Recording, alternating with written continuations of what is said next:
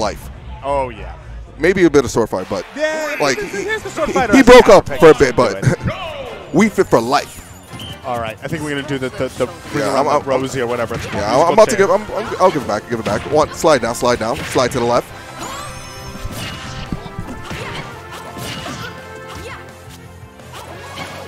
Speaking of crazy, that was Yeah, down number there. numbers deep down there already. Boom, boom.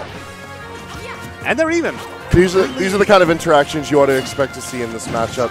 E, probably one of the bravest people to pick up a GameCube controller because this man knows no fear. He will dive out there. He knows that Numbers wants to play off stage. He knows Numbers wants to play off the ledge. You just got to catch him when you get the opportunity. I think that might have been suspect the guy. I mean, that was also at a pretty high percentage. He was, but it was 128 after the hit with an up air from Lucina, which is, I mean, it's a, definitely a solid move, but that's not necessarily the kind of move that's killing super duper early. And, oh, man, Numbers now trapped at the ledge once more.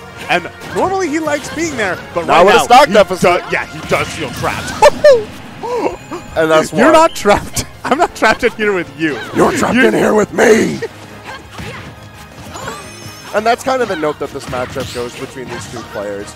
Like on paper, you would expect uh, Lucina to be able to zone break fairly effectively, and typically speaking, keep the damage in her favor. But you cannot sleep on the ability of uh, to be able to bring back that damage and heal a little bit off too. Yeah, we're now having John Numbers with deep breathing in effect, and anybody who's watched any John Numbers know how scary that prospect is. Okay, I think it just ran out, but that sun salutation hitting Mr. E in the face. Is this going to be a stock, possibly? Oh, Mr. E not out of the woods yet. Yeah, right now E rushing in, just taking a bunch of damage. He's going to end up getting grabbed in the process. Noah's on the hunt, but he's not going to find the mark with forward air. Numbers able to get out of this E pressure. And he's putting up his own pressure from a galaxy away. Yeah, man, the snipes, the the header ball finally coming too.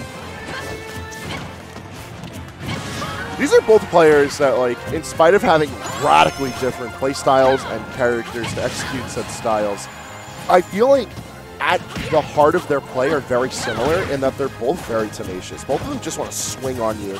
They want to execute their game plan and never be shaken away from it.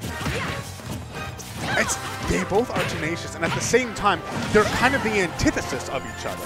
You know, John Numbers putting himself willingly on stage, trying to get those reversals, whereas Mr. E is going to put himself out there regardless. Because, you know, even though he died on, like, whatever that was, 50 to the uh, the side B, that is where he's getting a lot of his kills. Just managing to hit with those strong Lucina hitboxes. Like, truly two sides of the same coin when it comes to how they approach the game.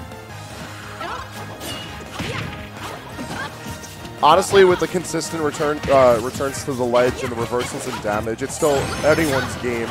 But that sun salutation and the dash attack pushing things in numbers' favor.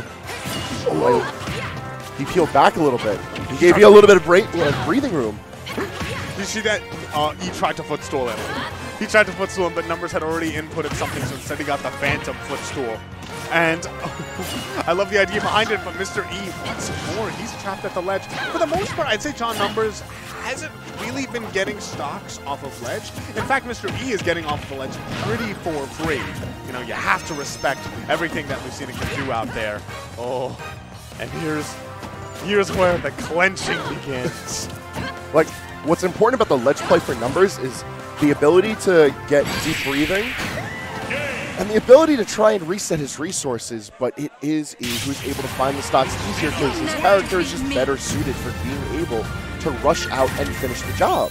I also I love that that Mr. E did not show that card. He held it like cupped up in his sleeve for the entirety of that game, and when he needed it most, goes in for the ledge trump back there, kills numbers. I think it was at a, it was like around 100, 110 percent. Yeah, something like with that. deep breathing in effect. But no, that's more than enough. All right, we got the run of that right onto Pokemon Stadium 2, and stage-wise, I think this is about as good of a situation as Numbers is going to get with the Encore stage list. And I feel like he played it out oh. well. Was that a misinput? Was that a next level mind game? Hey, listen, he got to psych himself up too, man. I'm sure by numbers' own standards, Ledge play not really up to snuff in that game one because you even pointed out how consistently he is turning these reversals, whether it's netting the stocks off stage or even getting in his few licks. If it was up to numbers, well, Ledge would be impenetrable defenses that he could rely on to throw projectiles and set up his deep breathing and sun salutation so he can find those reversals on stage because that's where the stocks are really coming in for numbers. We try to get greedy, getting the two heads of Peta. That parry was so good, but with deep breathing, this uh, John Numbers has started to actually make this comeback here. 102% on E, and he is trapped off the ledge. We haven't really seen an F tilt or anything like that. That was kooky. yeah, we're just gonna throw right into the header ball for some added damage. I like that though. He's at 151. Yeah, man. Just- All those little instances of being able to rack up little extra percentages, that adds up really quickly when you consider the deep breathing buff and how often numbers is swinging. Now, this is the sort of thing where this percent range is really important for numbers because Sun Salutation will guarantee kill from anywhere. And that's when he's going to be throwing it out. And right on back to the ledge, gets his resources all set up. And the forward tilt setting out to the opposite side. Not the best of situations for E. The spacing on that. Oh, numbers. The numbers is looking so much better than in this game here. Yeah, I think game one, Mr. E really gave John Numbers the wake-up call, and this is looking a bit more to form for how Numbers plays at the ledge. But you still gotta be careful. That's still Lucina in the hands of E.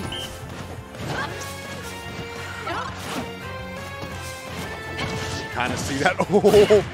Oh, I was going to say where we can see that carefulness as John slows it down just a little bit at the ledge. But Mr.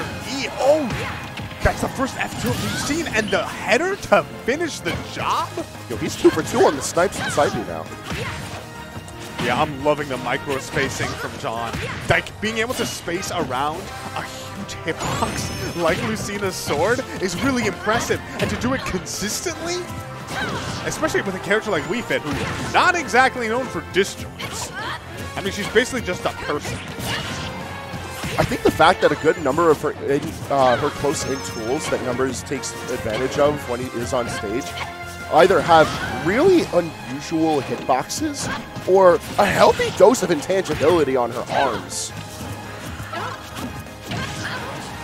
Oh, good job. Throwing out like preemptive down tilts. He, John, what? He put up his hands. I, I actually saw that in the player cam. Ooh. But oh, I think this is a wrap here. Oh, as I say that, he actually makes it back to stage, reverses it, and now he still has a path to victory here. Yeah, can't Yes. call it too soon. Yeah, he's, I mean, he's now at 124%. Put off stage. Numbers looking to end it, especially with deep breathing. Just waits for the roll. It's that backwards hit of forward tilt that's bringing us right into a game three. That looked like a much more confident numbers. Oh, yeah. Confident not only at the ledge, but also on stage, coming down from it was just it felt like a different breed. And as we move on to game three here, uh, I'm wondering, you know, whether Mr. E will make the adaptations, try and shut down this, you know, the momentum that Numbers has here. You know, like both these players, amazing at adaptation. You know, they have their game plans, but they also know exactly how to change them up in order to deal with their opponent. And now it's kind of an arms race. And the ball is in Mr. E's court. He's able to choose the counter pick. It's going to be small battlefield from the looks of it. And what are your thoughts on that stage? For small battlefield, oh, they clicked into FD. So FD is the pick. I think this is a very typical E stage. Oh, Like- it's actually FD? Yeah, I saw them select into. I heard small battlefield too. I heard them talking about it. Huh. Yeah, no, we definitely got bait and switched on that one. But the pick into FD I think, makes a lot of sense for E because you already know you're playing numbers at the ledge. Like, it's it's almost like it's a certain factor of how to who plays Wii Fit. Not every Wii Fit is like this, but numbers is definitively like this. So it's the sort of thing where a lot of the times when I see somebody pick FD, I think it's because they want to be better at or more effective at ledge trapping and juggling. But against numbers specifically, ledge trapping is always a kind of a it's, it's a nebulous thing to begin with. So when I see this FD pick, I think that Mr. E is going to be looking more for those juggle opportunities and to get as much mileage off of that as he can. I think also the fact that the stage itself doesn't have a lot of variety by virtue of no platforms. There's not a lot of ways for Numbers to really mix up how he chooses to play the on-stage game. Because in spite of Numbers like infamy at the ledge, where he's really been catching out E has these interactions at center stage or approaching to the ledge, where Numbers goes on the hunt while he has his deep breathing buff and finds those tilts to be able to really put in a dent. Ooh, Numbers not ready for that in-your-face aggression from E. And that opening that he managed to get himself, he could take it all the way here. Looking for some way, and just a little bit too patient. Numbers goes for a neutral getup, and that allows him for some deep breathing. And deep breathing down tilt is actually enough to close it out from across the stage. But we're going to go stock for stock as back air find its mark from Mr. E. And just like that, we're back to square one. Salty Fun, I feel like this stage is inviting a lot more of a scuffle from both of these players. And while E looks a lot more comfortable in this situation, he's got to watch out for these aggressive options from numbers. Look at the damage that racks up so quickly. And that wasn't even, the first hit of it was deep breathing, but deep breathing ran out in the middle of that combo, and Numbers was able to adjust it in order to still get all of this damage. And you, you know, like, hey man, you said before how, oh, they're kind of, you know, more in the thick of it. We're seeing a lot more, like, trades happening. And those trades, I'd say they're working out for numbers. Wii Fit's damage output is still really good. Yeah, no, these characters' combos are not to be slept on by any means, dude. Like, numbers will nickel and dime you at the ledge, and that's okay. But when he starts rushing in on you with nairs, the up airs, the forward tilts, the dash attacks, that damage racks up very quickly, especially when you consider the header ball intercepting in a lot of situations. Like, keeping that damage up as Lucina is not an easy. So sneaky using the ball as a bait right there. You know, he had been, you know, up until that point, a lot of it was good, good pickup with that down tilt. But um, a lot of it before, you know, he was throwing it out and then maybe jabbing it, you know, sending this quick thing his way. But instead, he runs right past it. And it's one of those things where John Numbers has also little secrets, little tricks that he has yet to show here. Even though we're in game three, last stock situation. Like, my man is full of tricks. He's almost built his Smash career on being full of tricks, but that's just one clean combo. Hit after hit after hit. Number secures a 2-1 victory over Mr. I call that tricky at the very least. Numbers managing to reverse that situation once again.